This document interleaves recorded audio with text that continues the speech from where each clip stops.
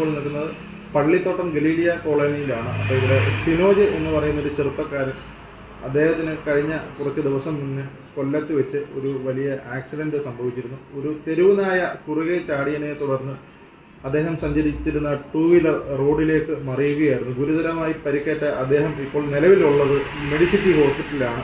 അപ്പോൾ വളരെ വിഷമകരമായ ഒരു അവസ്ഥയിലൂടെയാണ് ഈ ഒരു കുടുംബം കടന്നു പോയിക്കൊണ്ടിരിക്കുന്നത് ലക്ഷക്കണക്കിന് രൂപയാണ് ഇദ്ദേഹത്തിന്റെ ചികിത്സയ്ക്കായിട്ട് ആവശ്യമുള്ളു. അപ്പോൾ ആ കുടുംബത്തിന്റെ ഒരു ബന്ധു നമ്മളോടൊപ്പം ചേരുന്നുണ്ട്. ചേച്ചി എങ്ങനെ എന്താണ് ഇപ്പോൾ നിലവിലത്തെ അവസ്ഥ ഒന്ന് പറയാമോ? നിലവിലത്തെ അവസ്ഥ ഡോക്ടറിനോട് ചോദിച്ചപ്പോൾ ഡോക്ടർ പറയുന്നത് ഞങ്ങൾക്ക് ഇപ്പോൾ ഒന്നും പറയാൻ പറ്റത്തില്ല.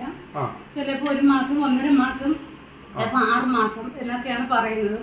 ഞങ്ങൾ ഡോക്ടറിനോട് ചോദിച്ച് ഞങ്ങളെ വേറെ ഏതെങ്കിലും ഹോസ്പിറ്റലിൽ കൊണ്ടുപോകാനായിട്ട് എഴുതി തന്നെ ഞങ്ങൾ കൊണ്ടുപോകാന്ന് പറഞ്ഞു. അന്നേരം പറഞ്ഞു ഇപ്പോൾ ഈ വെന്റിലേറ്ററിൽ കിടക്കുന്ന കൊച്ചിനെ ഞങ്ങൾ കൊണ്ടുപോയാൽ എന്തെങ്കിലും സംഭവിച്ചു കഴിഞ്ഞാൽ ആര് ഉത്തരവാദിത്വം ചെയ്യും. എന്ന് പറഞ്ഞപ്പോൾ ഞങ്ങൾക്കൊരു ഭയം തോന്നി. കാര്യം നമ്മളിന്ന് ആ എന്റെ ആങ്ങളെ അടുത്ത് പറഞ്ഞ ആങ്ങൾക്ക് സാമ്പത്തിക ബുദ്ധിമുട്ടില്ല. കുടുംബത്താണ് കിടക്കുന്നത്. കടൽ കടലിൽ അധ്വാനത്തിന് പോയി കിട്ടുന്ന കൂലിപ്പണി കിട്ടുന്ന കാശ് കൊണ്ടാണ് ആ കുടുംബം മുന്നോട്ട് പോകുന്നത്. രണ്ട് മക്കൾ രണ്ട് മക്കൾക്ക് മെഡിസിറ്റിയിലെ മരുന്ന് മെഡിക്കൽ കോളേജിൽ ആ കൊച്ചിന് വേറെ വരവൊന്നുമില്ല. രണ്ട് മക്കൾക്ക് മരുന്ന് വാങ്ങിച്ച് രണ്ടുപേരും ഇപ്പൊ പട്ടി കഷ്ടകാലത്തിന് പട്ടി കുറുക്കെ ചാടി ഇപ്പൊ കോമ സ്റ്റേജിലാണ്.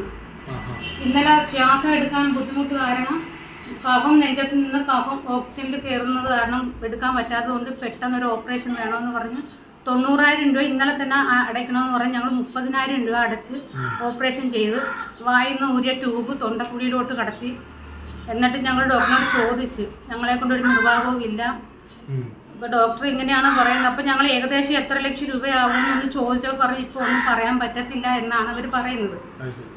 എന്തെങ്കിലും ആയി ഡിസ്ചാർജ് ആയി വന്നാൽ വന്നാൽ മാത്രമേ എത്ര ലക്ഷം രൂപ ആവുമെന്ന് അവർക്ക് ഉറപ്പ് തരാൻ പറ്റത്തുള്ളൂ അപ്പം നമ്മൾ പല പലയിടത്തും അത് ഒരു അപേക്ഷയുമായിട്ട് എല്ലായിടത്തും പോയി കാര്യം പലിശയ്ക്ക് എടുക്കാൻ ഇതുവരെ ഇന്നലെ വരെ പലിശയ്ക്ക് എടുത്ത അഞ്ച് ലക്ഷം രൂപയായിട്ടുണ്ട്. ഇന്നലെ വരെ. ഇന്നലെ വരെ.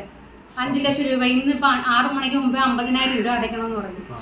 അപ്പൊ ഞങ്ങളെ കൊണ്ട് ഒരു നിർവാഹമില്ല സഹോദരങ്ങൾക്ക് പോലും ഞങ്ങൾ അത്രക്കത്ര കൊടുക്കാനേ പറ്റത്തുള്ളൂ.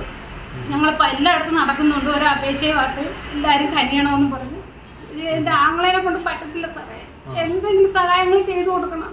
ഈ കുടുംബത്തിന് അതിനു വേണ്ടി രണ്ട് മക്കൾ രോഗികളാണ്. രണ്ടു മക്കളും രോഗികളാണ് രോഗികളല്ലേ ഒരു മോൻ ഇതാണ്. ഒരു മോന് അദ്ദേഹം പതിനേഴ് വയസ്സേ ഉള്ളൂ മോന്. വെന്റിലേറ്ററിൽ കിടക്കുന്ന കൊച്ചിന്. പതിനേഴ് വയസ്സേ ഉള്ളൂ. അപ്പൊ എന്തെങ്കിലും സഹായങ്ങൾ എല്ലാവരും മനസ്സലിഞ്ഞ അത് ഞാൻ എന്റെ ആളെ ചെയ്തു കൊടുക്കണം.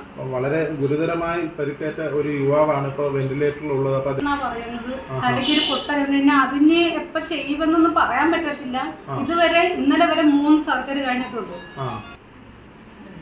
എന്റെ എന്റെ ആങ്ങളേക്ക് ഒരു നിർഭാഗവും ഇല്ല ഇതുവരെ അഞ്ചു ലക്ഷം രൂപ ആയിട്ടുണ്ട്. കാണുന്ന വീഡിയോ കാണുന്ന എല്ലാ നല്ലവരായ നാട്ടുകാർ എന്റെ ആങ്ങളേക്ക് എന്തെങ്കിലും സഹായം കൊടുത്ത് സഹായം കൊടുത്ത് സഹായിക്കണം. ഞങ്ങൾ ആ കൊച്ചിന് വേറെ ഒരു വരവുമില്ല. അവൻ ഈ വീഡിയോയുടെ മുമ്പിൽ വരാൻ പറ്റാ- പറ്റാത്ത വിഷമത്തിലാണ് അവന്റെ പെങ്ങളായി ഞാൻ ഇന്ന് സംസാരിക്കുന്നത്.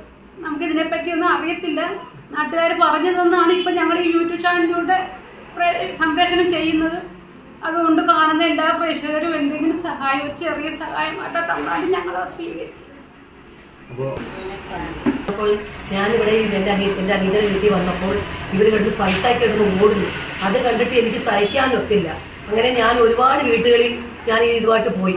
എന്തെങ്കിലും സഹായം ചെയ്യണമെന്ന് പറഞ്ഞത് നിങ്ങൾ ഇപ്പൊ സഹായിക്കുന്നത് ഏറ്റവും ദൈവത്തിന് പുണ്യമായി നിങ്ങൾ ഇപ്പൊ കൊടുക്കുന്ന പിഷ ജായിക്കുന്നതൊക്കെ ജായിക്കാണ് ഞങ്ങൾ ഞങ്ങൾ അയലക്കാരാണ് ആ കുഞ്ഞിന്റെ രംഗം കണ്ടിട്ട് സഹിക്കാൻ പറ്റത്തില്ല. ഒരു പെറ്റ തള്ളയ്ക്ക് സഹിക്കാൻ പറ്റാത്ത രംഗങ്ങളാണ് ഞങ്ങൾ കണ്ടത്.